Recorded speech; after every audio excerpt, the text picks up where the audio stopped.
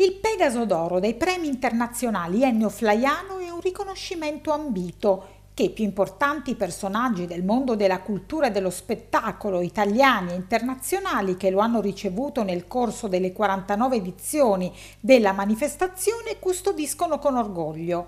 Il mitico cavallo alato al quale si attribuivano nelle leggende della Grecia antica imprese favolose e idealmente anche in tutte le case di coloro che da sempre seguono l'evento in presenza oppure in diretta su Rete 8. Al Teatro d'Annunzio di Pescara la presidente Carla Tiboni, figlia di Edoardo Tiboni, fondatore dei premi, Ieri sera 3 luglio lo ha consegnato anche al pubblico, dando appuntamento alla cinquantesima edizione che si preannuncia fantasmagorica, come ha assicurato anche il sindaco Carlo Masci ma anche la 49esima edizione nel cinquantesimo anniversario della morte dello scrittore, sceneggiatore e giornalista pescarese ha visto salire sul palco importanti personaggi della letteratura, cinema, teatro, televisione e giornalismo e le due serate presentate con verve straordinaria bravura dalla giornalista Martina Riva hanno consentito di celebrare e mostrare il meglio della produzione culturale,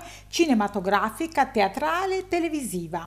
I premiati nel backstage si sono concessi anche alle nostre interviste nel corso della diretta condotta dal direttore Carmine Perantuono. La serata si è aperta con la sezione teatro e con la consegna del Pegaso d'Oro a Gianluca Guidi. Per la migliore interpretazione del musical aggiungi un posto a tavola. Emanuele Salce è stato premiato per Diario di un inadeguato e Donatella Finocchiaro per Il filo di mezzogiorno.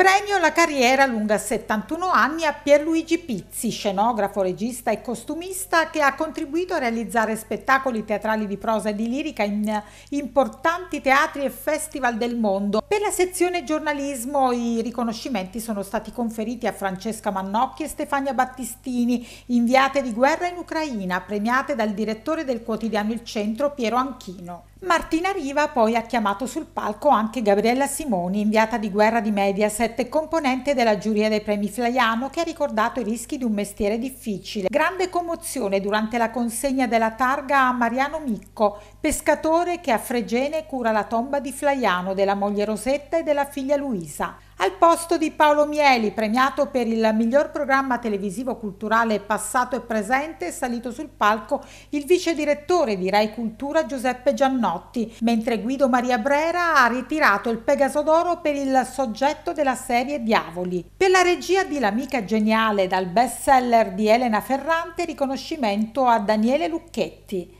Fahim Bouyan è stato premiato quale migliore interprete sezione giovani per Bangla la serie. Miglior interprete femminile Anna Ferzetti per Le fate ignoranti, la serie tratta dal film di Ferzan Ozpetek, la quale ha ricordato non senza commozione le sue origini abruzzesi e il padre attore Gabriele Ferzetti, miglior interprete maschile Fabrizio Bentivoglio per la serie Monterossi. Omaggio a Suso Cecchi d'Amico che in una lettera racconta il gigante flaiano, entrambi ricordati dal figlio della sceneggiatrice Masolino D'Amico, componente della giuria dei premi. Dalla sua abitazione Giuseppe Tornatore si è collegato con il Teatro d'Annunzio e ha ricordato il compositore Morricone a cui ha dedicato il docufilm Ennio.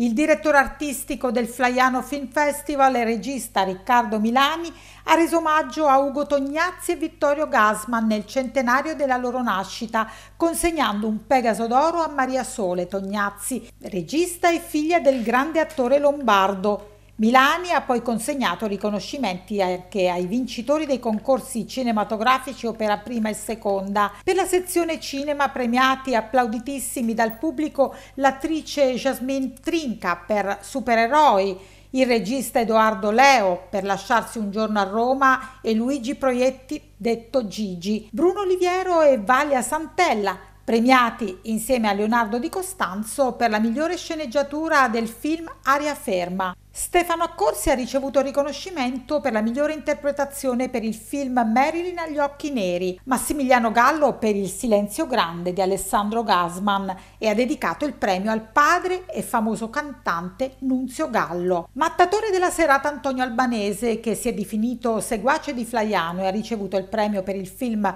Come un gatto in tangenziale ritorno a Coccia di Morto, diretto da Riccardo Milani. Massimo Cantini Parrini, premio per i migliori costumi per Cyrano. Dulcis in Fundo il premio per il miglior film L'Arminuta del regista Giuseppe Bonito, prodotto da Roberto Sbarigia e tratto dall'omonimo romanzo della scrittrice abruzzese Premio Campiello Donatella di Pietrantonio, che ha curato la sceneggiatura insieme a Monica Zappelli. Tutti sul palco, accolti calorosamente dal pubblico.